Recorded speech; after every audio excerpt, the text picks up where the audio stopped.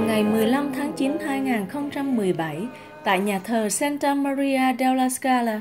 Đức Hồng Y Peter Turkson đã chủ sự thánh lễ tạ ơn và công bố sắc lệnh nâng tôi tới Chúa, Đức Hồng Y Francisco Xavier Nguyễn Văn Thuận lên bậc đáng kính. Với sắc lệnh này, từ nay Đức Hồng Y Francisco Xavier Nguyễn Văn Thuận được gọi là đấng đáng kính. Trong tâm tình tạ ơn Thiên Chúa và Đức Mẹ Maria, mời cộng đoàn dân Chúa nghe lời chia sẻ của Đức ông Peter Nguyễn Quang, người đã đến Roma tham dự thánh lễ trọng đại này. Con được biết là tuần vừa rồi Đức ông đã qua bên Rome à, để tham dự thánh lễ dỗ 15 năm của Đức Hồng Y Francisco Xavier Nguyễn Văn Thuận và cũng là tham dự lễ thánh lễ tạ ơn à, Đức Hồng Y được nâng lên hàng à, đáng kính. Thì con xin cha chia sẻ với mọi người về cảm nghĩ của cha khi cha tham dự thánh lễ long trọng này. Cảm ơn chị Thanh Mỹ.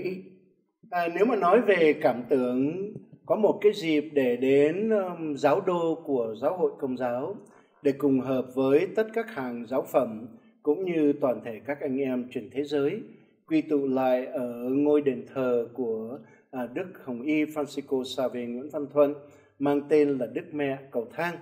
À, khi được tham dự thánh lễ dưới sự chủ tế của Đức Hồng Y Phêrô Thorson, ngài là bộ trưởng của Bộ Công lý và Hòa bình, bây giờ được nâng lên một cái danh hiệu mới, phát triển toàn diện về mặt nhân sinh cho uh, đời sống của nhân loại uh, trong cái việc mà cùng với xã hội để nâng lên hàng đáng kính cho tôi tớ Chúa Đức Hồng Y Francisco Xavier Nguyễn Văn Thuận. Cái cảm nhận đầu tiên thì phải nói là tôi rung động. Nếu mà rung động thì nghe không rõ lắm nhưng mà cảm động. Là bởi vì có dịp để lắng động hơn, để rồi nhìn vào những cái việc tiến trình cũng như tất cả những lời giáo huấn của giáo hội, bây giờ đã thật sự được triển khai và đâm bông kết trái trong đời sống của bậc đáng kính à, Đức Cố Hồng Y Francisco Xavier Nguyễn Văn Thuận.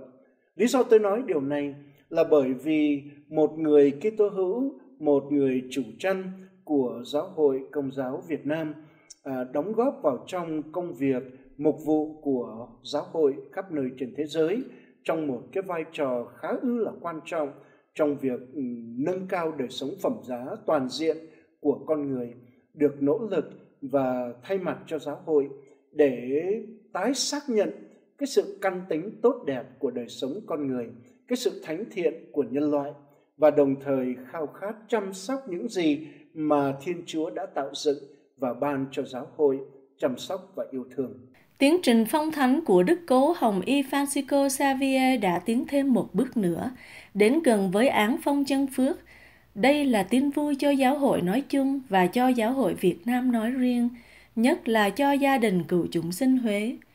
Các tín hữu công giáo trong và ngoài nước đều hiệp ý dâng lên lời cảm tạ. Trong niềm hân hoan đó, tại quê nhà của Đức Hồng Y ở Phủ Cam, Huế, chiều tối ngày 15 tháng 9, đã có giờ kinh tưởng niệm Đức Cố Hồng Y Francisco Xavier tại từ đường của Ngài với sự tham dự đông đảo của quý cha, quý tu sĩ nam nữ, cựu chúng sinh giáo phận Huế và bà con giáo dân.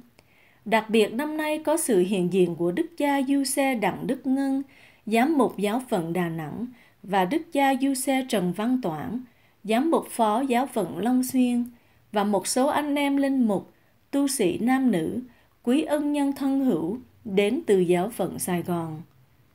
Thánh lễ dỗ năm thứ 15 của đấng đáng kính Đức Hồng Y Francisco Xavier Nguyễn Văn Thuận đã được tổ chức long trọng vào sáng 16 tháng 9 tại nhà thờ chánh tòa Phủ Cam với sự hiện diện đầy quan phòng của Đức cha Du Xe Trần Văn Toản, giám mục phó giáo phận Long Xuyên làm chủ tế và Đức cha Du Xe Đặng Đức Ngân, giám mục giáo phận Đà Nẵng chia sẻ lời Chúa. Cùng đồng tế với quý đức cha còn có cha tổng đại diện Anton Dương Quỳnh, cha Anton Nguyễn Văn Tuyến, chánh sứ, giáo sứ chính tòa Phủ Cam, hơn 30 quý cha đến từ trong và ngoài Tổng giáo phận Huế. Ngoài ra còn có sự hiện diện của quý tu sĩ nam nữ, quý khách, quý ân nhân đến từ giáo phận Sài Gòn và đông đảo bà con giáo dân tham dự. Đức cha chủ tế đã mời gọi cộng đoàn hân hoan tạ ơn Chúa và cùng cầu nguyện cho tiến trình phong thánh cho đấng đáng kính Đức Hồng Y Francisco Xavier Nguyễn Văn Thuận là người con ưu tú của giáo sứ chính tòa Phủ Cam và là niềm vinh dự cho toàn thể giáo hội Việt Nam. Lễ dỗ năm thứ 15 của đấng đáng kính Đức Hồng Y Francisco Xavier đã diễn ra trong tâm tình sốt mến và linh thánh. Mong sao nguyện ước giáo hội Việt Nam có được một vị thánh hiển tu sẽ sớm được viên thành trong tình yêu Thiên Chúa, đấng là suối nguồn bất tận của niềm vui và hy vọng. Cố Hồng Y đã nghe theo tiếng gọi của Chúa,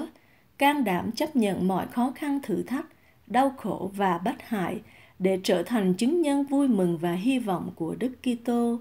Những nhân đức anh hùng của Đức Cố Hồng Y luôn mãi là tấm gương sáng cho mỗi người chúng ta noi theo.